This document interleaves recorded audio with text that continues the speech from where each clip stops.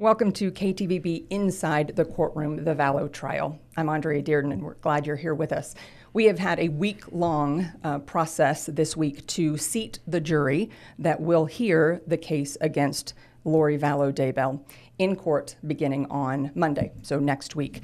Um, we started with 1,800 mm-hmm. potential jurors, a huge pool. These are Ada County uh, citizens that were summoned to appear that mm-hmm. potentially could be jurors. That pool then narrowed down, uh, took several days to narrow it down mm-hmm. to 42, then down to 24, and eventually we landed on 18. What do we know about our jurors that will hear this case? Yeah, 18 uh, jurors from, and I want to back up really quickly. Those 1,800 were folks that were given a questionnaire. So, summoned for jury duty, they had to fill out a 20 page questionnaire, and it took a couple days for uh, the judge and the attorneys in the case, both the prosecution and the defense, to go through that questionnaire, you know, they could weed people out, whether they were going to be on vacation, whether it was very obvious they weren't going to serve on this jury. Uh, and then from there, we don't actually know how many they ended up with out of that 1,800 to begin this week of questioning. But they went through uh, extensive questioning yeah. from, you know, 8 or 9 in the morning until sometimes 6, 6.30 in the evening, mm-hmm. Monday through Thursday. Uh, and then they did something today called peremptory strikes. So right. they had the ability, uh, the attorneys in the case, both the defense and prosecution, had the ability to to strike people without justifying why. Mm-hmm. So f- the past 4 days for those who haven't been following, they've been able to strike people but they've had to explain why, so right. for cause, and mm-hmm. say hardships in people's lives or uh, bias, which has been the biggest issue, right? Right. Too much information. Mm-hmm. They've seen mm-hmm. too much in media. They think they know more about this case than they feel comfortable exactly. with them coming into it with. Exactly. Yeah. And so, how do you kind of whittle that down? How do you dwindle it down when so many people know about this case? And right. that has been the biggest issue. But, you know, it brings us to today where now we are left with 18 uh, jurors. You've got six alternates, right. and 10 of the jurors are men Eight of the jurors are women. We know that. We don't know their identities at this time. We've not been allowed inside the courtroom. We've right. been in an overflow room, and you can't see the jurors. Mm-hmm. And even when we are allowed inside the courtroom, we can't have cameras, as you've talked about, and we're not allowed to show the jurors or talk about them or talk to them. Mm-hmm. There are a lot of rules around um, identifying who they who they are. But going back to who the jurors are, it's been difficult because, like I said, we can't see them. But also, there are times where you know they're asked to raise their hand or raise a piece of paper, and they're identified by numbers. So it's difficult to track any of the traits about mm-hmm. these individuals. Um, or what where they come from, their age, yes, what their occupation is. We just don't mm-hmm. know. We that. don't know any of that. Yeah, yeah. Right. but we do know that a lot of them have at least heard something about this case. Mm-hmm. And, and, that was something that, that was certainly um, a part of the, surely about the questionnaire, but also as those uh, questions got a little more pointed and a little more mm-hmm. specific as that number got whittled down mm-hmm. you know, to that final 18. Um, uh, clearly they want to know is there a bias there or it's not that they can't have heard anything about exactly. the case but more prosecutors and defense attorneys wanting to make sure that do they feel comfortable that these men and women can make a decision uh, mm-hmm. uh, based on what they hear in the courtroom and not what they think they know or what they have heard previously. Yes, exactly. And I and we talked about this like with multiple defense attorneys as well as prosecutors uh, that we've been leaning on as experts in this case. I asked, you know, is it about who you don't want on the case or is it about who you do want to right. serve on the jury? And they said it's actually both, you know. Mm-hmm. Well, from the prosecutorial side especially, it's ideally it's who they want, right. but from the defense side it's more so about who they don't want. Mm-hmm. But it, it really is a combination of both and I've had attorneys refer to it as a chess game of sorts. I mean, it really is a science and it's very very specific. And, and there are people, I mean, there are experts that do just that. Mm-hmm. I mean, mm-hmm. they are are brought into cases to examine jurors, um, to sort of kind of read the the potential jurors um, to look at, you know, it's kind of much like a profiler yeah. would in a, in a criminal case um, yeah, or in point. a, you know, in a criminal investigation. Um, it's the, that reading of what do we think they're going to do, kind of what their thought process might be. So mm-hmm. it is, you're absolutely right. It can be a, a pretty um, extensive uh, a science. You did talk to um, former Ada County Chief Deputy Prosecutor mm-hmm. Jean Fisher. So gave some insight on why or how that questionnaire that you mentioned mm-hmm. really did help uh, whittle it down, right? Yeah. Let's hear what she had to say about okay. that all of the really big questions, a lot of the theme questions, a lot of the concerns, I'm sure were addressed in the questionnaire. So when they whittled it down to 42, it definitely made it much um, simpler last night to go through those. They had to do a lot of work to, to get there, but at least they already had their questionnaires for the 42 that they knew were picked. And so I think that probably sped things up quite a bit. And having moved the case here to Ada County, um, where we have a much larger jury pool and population, uh, serving as kind of an expert here, and that's exactly what this show is meant to do. So we are going to be able to have the journalists who are there watching this trial, and, and we're going to allow those, you know, be able to talk to these experts. And so she's not directly connected with this case, No. but clearly a lot of experience um, in a courtroom, a lot of experience with criminal prosecution, understands the process, and is going to people like Jean are going to help us um, as we unco- you know as we follow this case day by day.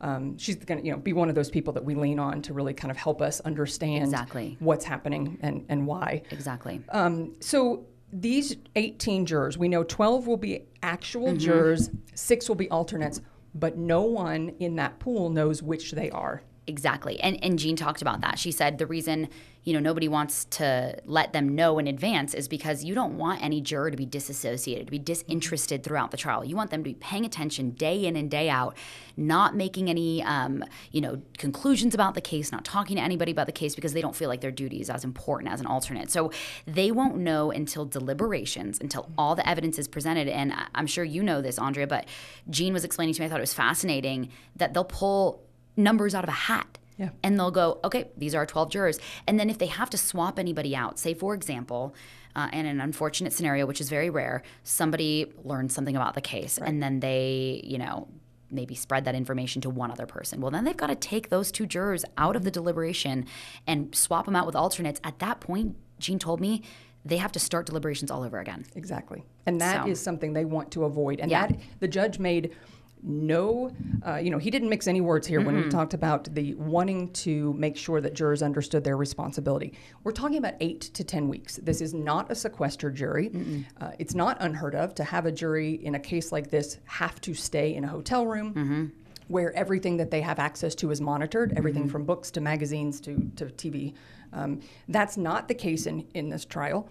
And clearly you understand the cost of that is extensive um, having to you know monitor that and, and make sure and also is a huge disruption to someone's life Absolutely. sitting on a jury is a disruption enough but Yes. to have that be 24-7 uh, certainly something that, that judges are very hesitant to do if they do not have to however that also means that the responsibility to uh, you know to follow the court order um, has to be followed Right. specifically and so what did he what was his, what were his instructions what is he telling him Yeah, he spoke very candidly. Uh, I wish I had some of it verbatim. I mean, I could find it, but he essentially said, you know, this is your oath. You swore under oath that you were going to follow my instructions. And if you don't follow my instructions, you could be held in contempt of court, right?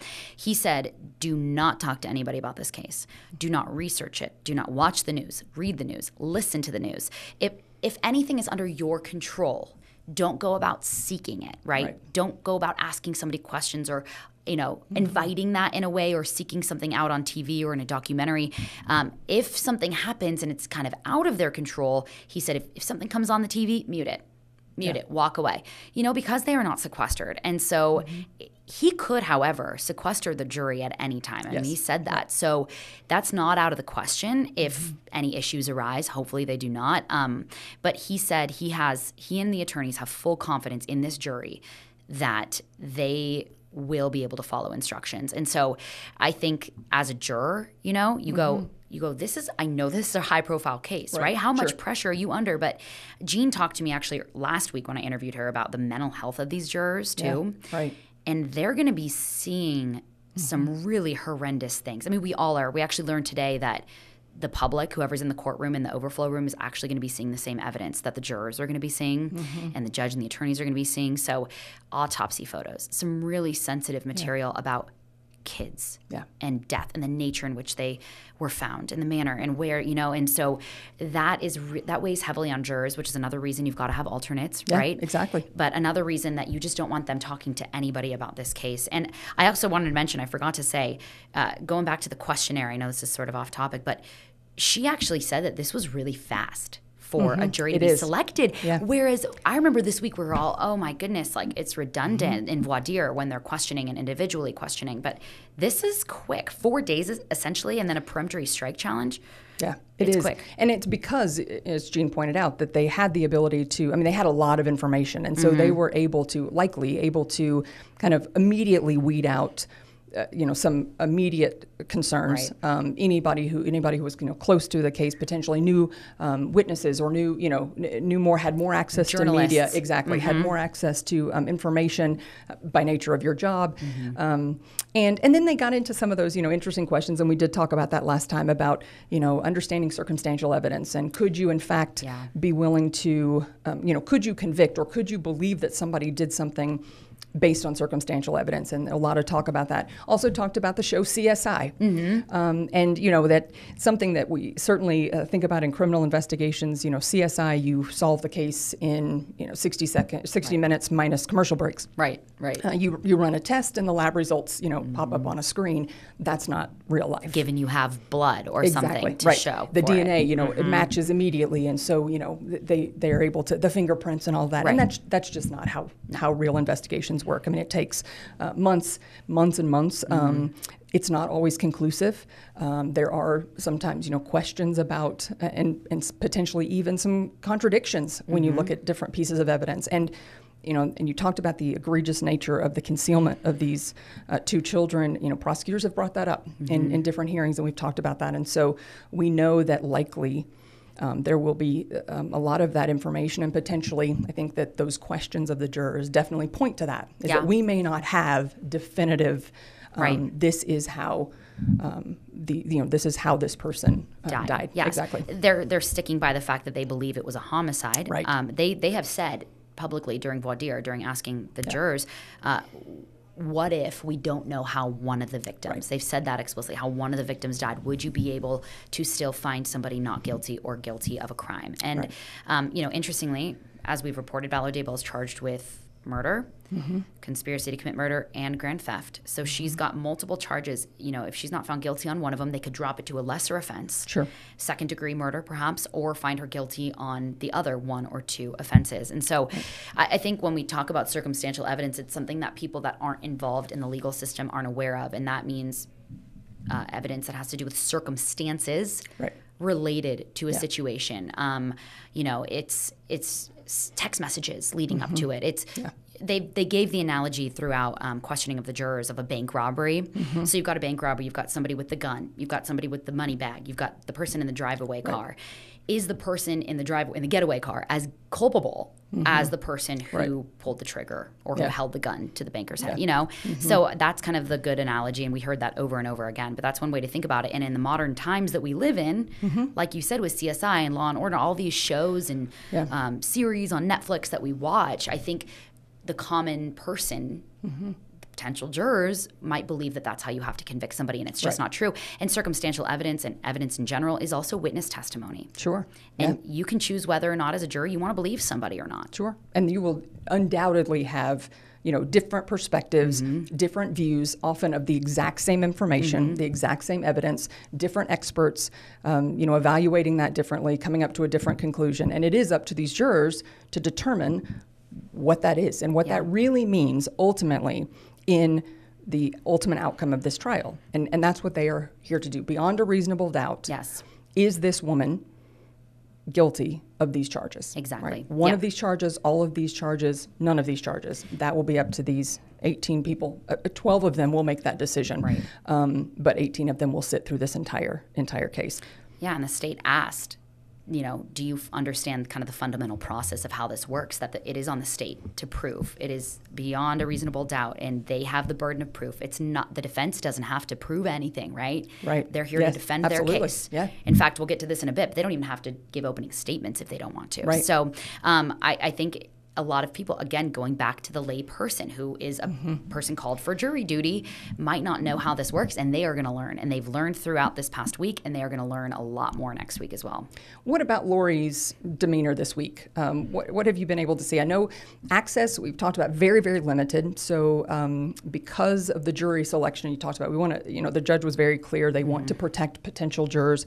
Um, and certainly if you're not selected and, you know, you want to protect that identity. Um, so, no one has been allowed inside the courtroom, only in that that overflow room that they're calling it. So very limited kind of, kind of screen access, right? Yeah. And kind of blurry, not super clear. Yeah. Um, so have you been able to tell kind of what her level of engagement has been, what her demeanor's been like? let me tell you, it has been very difficult to see because if I could set the scene for you guys, we're in the Ada County Commissioner's room. Mm-hmm. So it's on the main level. It's a large room. There's a lot of seating. That is going to be the overflow room throughout trial. So um, that's the room that I'm personally going to be in so I can do live shots.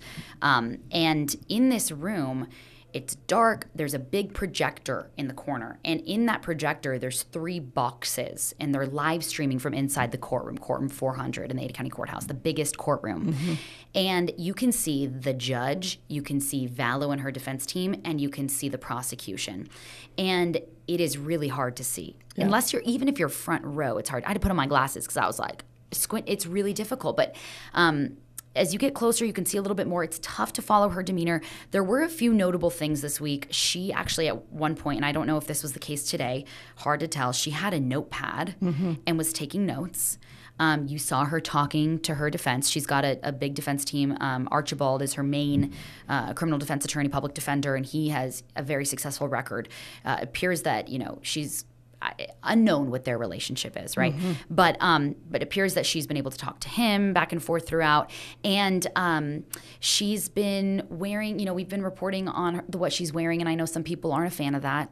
I think for us, it's we're the eyes and ears right. in the courtroom, giving access to to you know at least giving you some insight, something, some insight, right? Yeah. And and for TV people, that's different because we always get our cameras anywhere, you know. Sure. So this is a it was the judge's decision to not allow um, cameras inside the courtroom or audio recordings either. So anyway, we've been kind of outlining what she's been wearing, and you know, she always kind of dresses interestingly, differently. She has her hair curled. She's wearing makeup. She's worn glasses a couple days. She'll wear a turtleneck and a blazer and a cardigan. Um, and so we've just reported that to, to ensure that we're communicating as much as we right. can with people. But at one point, I saw her, and the sketch artist actually captured this. I don't know if we can pull up the sketch. Um, it might come up a little bit later, but Vallow at one point was wiping her eyes or cleaning her glasses. Mm-hmm. It was really mm-hmm. hard to tell. Mm-hmm. And that was when uh, I wasn't personally there, but as my colleagues reported, that was when uh, the charges were being okay. read, I believe, um, or you know something about the nature of the victims in which they were found. So mm-hmm. uh, I want to verify that. But she, yeah, I mean, it's been really, really difficult to see her, and I hope that changes. Mm-hmm. You see her there with her hands folded, um, the notepad in front of her. That's um, her defense attorney. I just. I hope that moving forward we're able to see a little bit more because it's challenging if you're not inside the courtroom. Right, and and we know we we so appreciate um, you know those of you who have commented on um, you know, asking about different things about her demeanor, different things about, you know, wanting to know a little bit more about this case. And again, that is exactly what this show is, a, is intended to do, mm-hmm. is give mm-hmm. you a little bit more of that in-depth look at, you know, the day-to-day, week-by-week uh, happenings inside the courtroom, but but understanding that there will be that challenge throughout this case. Yes. So we simply will not have um, anything short of a sketch um, we hope to have audio um, mm-hmm. from from the day's um, hearing, but again, we don't know for sure. We hope to have that each day, but we don't know when we that know. might happen and, and when we will be able to share that. But certainly, um, we will do the, the best we can to bring as much of that detail to you um, as possible. Again, with the sketch artist, then of course, then the yeah. the, the reporters and um, folks who are who are at the courtroom on the ground. I mean, that is the only way. What you just saw is the only way we're going to be able to visually depict. And we've got a great sketch artist, Lisa Cheney. She's been in the overflow room with us, uh, drawing these photos. Mm-hmm. And uh, this is what she'll do every day. She's there have been days where she's produced five photos for us, and it's been our visuals and how the public can understand what's going on. Um, a lot of media organizations, not everybody, but a lot of media organizations chipped in to pay for this. And mm-hmm. so um, this is what we're leaning on, and she's done a, a, really wonderful job. We actually did a Brenda Rodriguez did a story with her this morning about you know her interest in this, and so yeah. you guys can watch that on our website, by the way. So one of the questions that um, was kind of outstanding this week was whether or not. J.J. Vallow's grandparents, mm. Kay and Larry, would be allowed inside the courtroom during mm-hmm. the case. They actually made a motion to the judge because if you are a witness in a case, you are usually not allowed to be in the courtroom, and it makes sense. You know, you, right. you they worry that um, a witness could hear other testimony, they could hear other information that would potentially, even unintentionally, skew their own their own recollection of something mm-hmm. or their mm-hmm. own you know their own statements. Um, however, uh, you know, Kay and Larry argued they are advocates, that mm-hmm. they are not just witnesses in this case, but that they are victims in this case. So, what do we know about their access now? So, they got an attorney. They lawyered up last week. Uh, I believe it was last week, and they said, uh, "We believe that we are victims and we deserve to sit in every minute of this trial." And they have been very vocal, as have, as anybody who's followed this case knows. They have been the ones that we've spoken to, that multiple news outlets have spoken to. So they filed to be, uh, you know, understood as victims, and a judge just ordered uh, yes, two days ago, it was filed yesterday, that they will be allowed inside the courtroom. Excuse me, uh, Kay Yes. Woodcock, the grandmother, will be allowed inside the courtroom.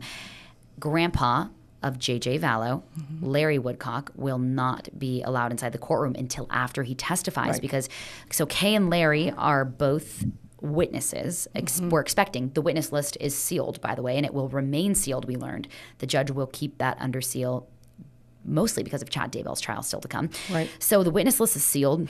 Um, but we know, we likely know that they're going to be witnesses. And um, the judge ruled Kay is a victim. She can sit in. So can Lori Vallow's sister, Summer Shiflett, um, Colby Ryan, Vallow's son, as Her well. oldest child. Her oldest child with a different husband. And, um, and Larry can come after. He just can't be in the courtroom initially until after he testifies. So Colby would be Tylee's older brother, Mm-hmm. and, and of course considered himself JJ's older brother as well. Yes. So um, JJ was adopted by Lori Vallow and her husband at the time, Charles Vallow, who is actually Charles is actually Kay's um, brother, Mm-hmm. and so it is a little bit, you know, it, it's a dynamic in that he was a nephew. However, Right. biologically. Um, was born to Kay's son Mm-hmm. and his wife, so um, so they do have a biological you know connection. I mean that they are his grandparents, um, and so the judge ruled ultimately ruled that while they didn't have a motion, um, they really didn't have a, a legal reason to to argue to be in the case into the in that courtroom. So he really didn't even um, weigh in on the motion. But what he did say was that they can appoint an advocate, which means. She can be the eyes and the ears for that victim who cannot be there themselves. Um, the court does allow for that, and so that's where the the sister, Lori's sister, is going to be. uh, She's considered the advocate for Tylee. Okay. Um, Kay considered the advocate for JJ, and then allowing Colby in. Didn't add, you know, didn't add advocacy there, but just said that he was allowed to Right. be in the case, in in, in that victim. exactly, Yes. um, in that uh, courtroom, and that is really, you know, I mean, that is what um, the law allows. You know, I Mm-hmm. mean, it is a an open forum in terms of this is the people's court, Right. um, and and so these proceedings, while they are limited, Mm-hmm. um, there is a legal, um, you know, a, a legal reason, if you will, to to allow for folks to be able to watch and understand what's happening. You know, that's Right. Mm-hmm. the way our court system was designed, and so that really was the argument. And now Kay will be able to to be in there, and I think that obviously made a, a huge difference for oh that my couple. gosh. I mean, and you think about it, sometimes, you know, victims aren't afforded the Mm-hmm. rights that they always deserve, you know, and sometimes they're just seen as a member of the public and they get things when everybody else gets things. And so I think that um, because they have been so vocal and they have been such strong advocates, um, this is, it's, it's uh, pleasing to see that they got this, you know.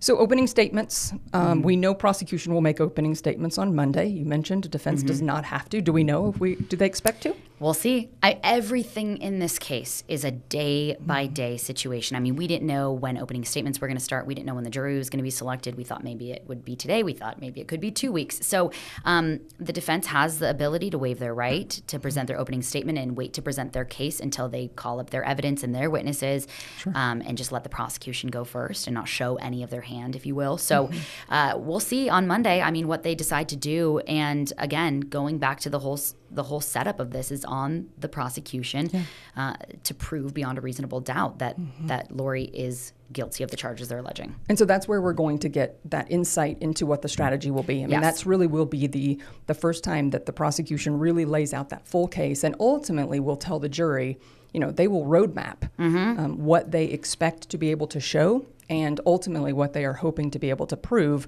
with what we believe to be as many as 200 witnesses. Wow. Yeah. Um, and you know, we will not know, as you said, we won't know who those are until they are called. Right. we'll track them. Um, of course, You know? yeah. But interestingly, too, I, I when you think about um, eight weeks, That's a long time. Sure. So they have a lot of evidence. Both sides have a lot of evidence, a lot of people that they're calling. As I mentioned, witnesses are considered, witness testimony is considered evidence in a case. Um, and so that is going to probably take up most of it. You've got cross examination, you've got redirect, all these sort of legal lingos that the attorneys can go through back and forth. They can call witnesses back. Sure. Um, but eight weeks is a long time. And so it's going to be, we're going to learn a lot. And I mm-hmm. think from, you know, the defense perspective, it'll be interesting to see whether or not they do decide to give any sort of inkling as to what they have on the Right. first day. But we do know opening statements are not arguments. Right. Opening statements, they will not be going back and forth. They will, like you said, simply provide a roadmap, say this is who you're going to hear from, mm-hmm. this is what we're laying out in our case, this is what we believe happened. Right. And then the jurors go, okay. And again, hope do not make up your mind yet, jurors. That's kind of what they're instructed. Keep an open mind throughout trial. That's the big thing. Keep an open mind, Mm-hmm. um, and then we'll see if the defense does the same. Yeah. And that's, we will be watching that. We will be sharing that with you as well. As you have questions, um, we've already had a couple of people ask, what about the name, right? Lori yeah. Vallow or Lori Vallow Daybell.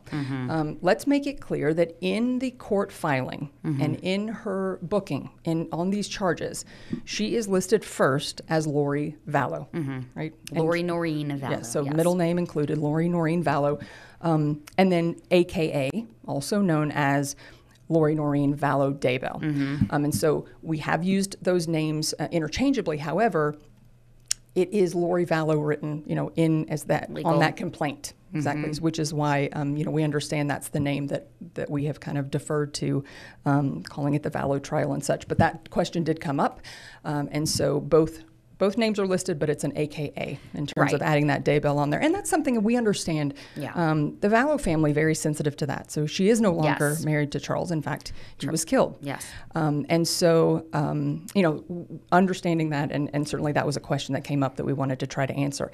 If you have other questions that you want us to try to answer, please, you can text those to us. Um, that number here, 208 321 5614, ask that. We will, we will try to research what you want to know um, because we do want to take you along with us um, as we, you know, follow this case and hope to bring you that inside inside the courtroom as things happen. So Yeah. Morgan, you will be there, and, and we will continue that coverage um, as we move into the next week and the start, really this a really official start Yes. of this trial that will last um, eight to ten weeks. Yeah, So we'll be learning a lot more, and I think that this is a great a great platform for us to be able to really dive into it and explain the process more. So uh, grateful to be able to have this, and uh, you can follow Shira Matsuzawa, Alexandra Duggan, and myself on social media as well as all of our coverage on KTVB.com, the KTVB Plus app, YouTube.